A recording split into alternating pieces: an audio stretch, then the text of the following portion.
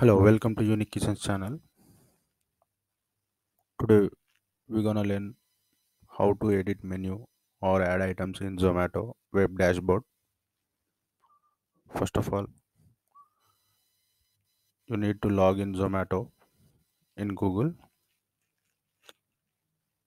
Search Zomato, then you can show like this visible.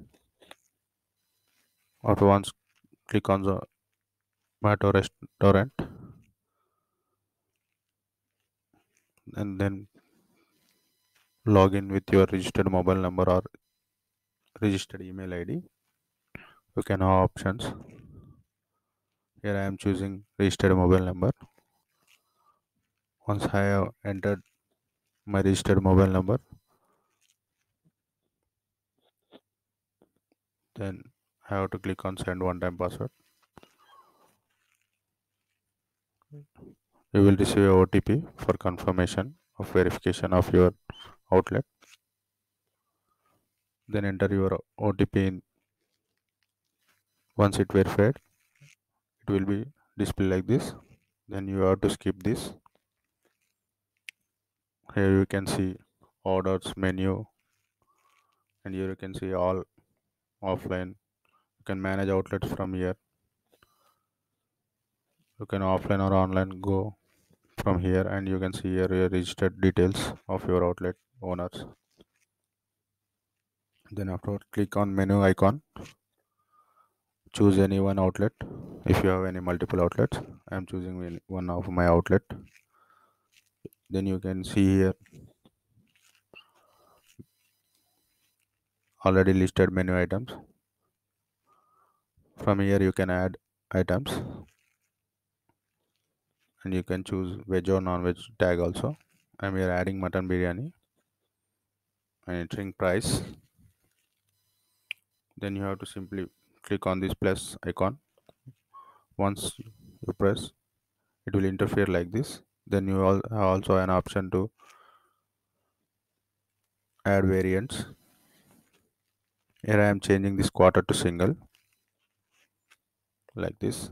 Simple way i'm here entering single. Once i have entered you can see this. It's updated. You can add prices from here as well as once it's done simply click on done and then go with ok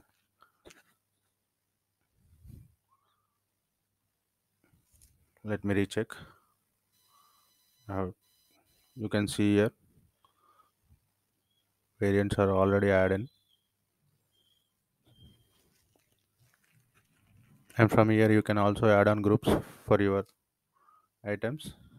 Example like raita uh, dips and any other simple manner. From here i can choose veg or non-veg tag. I'm choosing non-veg because it's mutton biryani. I'm choosing mutton and confirm from here you can see you can add images from here. You can add images which are displayed in this picture only. There are some zomato guidelines. You cannot upload any images from google. It won't be accepted. From here you can mention your item description. So that would be better for customer to understand about the item.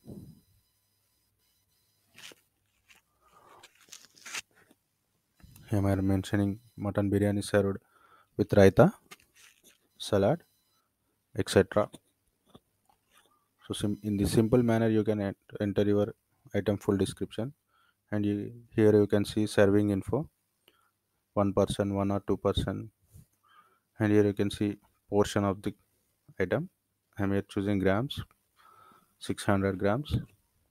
Simply mention your proteins of your items any nutrition value. There is a category biryani i'm choosing. And you can simply choose any cool drink you are offering to customer and simply tag chef special business type and spice level I'm choosing medium spicy. So once recheck and submit changes, yes, I confirm. Then it will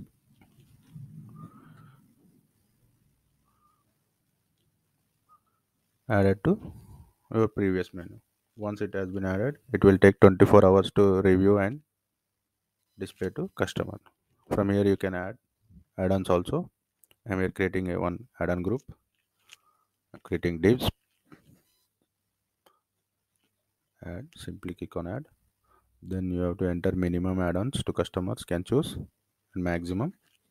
I'm here entering maximum 5. From here you can add your items, add-ons. I'm here adding ketchup sachet and choosing veg or non-veg, veg. And I'm here entering price. Once submitted, you have to map the items.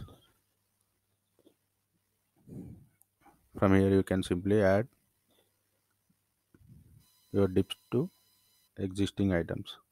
You can choose individually or whole category by simply clicking on the tab then confirm once verify or review dips are added to items and then confirm. Then it will be added. From here you can add packaging charges subcategories add-ons and here delivery charges. If you are self delivery outlet means you can add here delivery charges from this tab. And simply by clicking help you can see various queries so thank you. Thanks for watching. Subscribe for more unique kitchens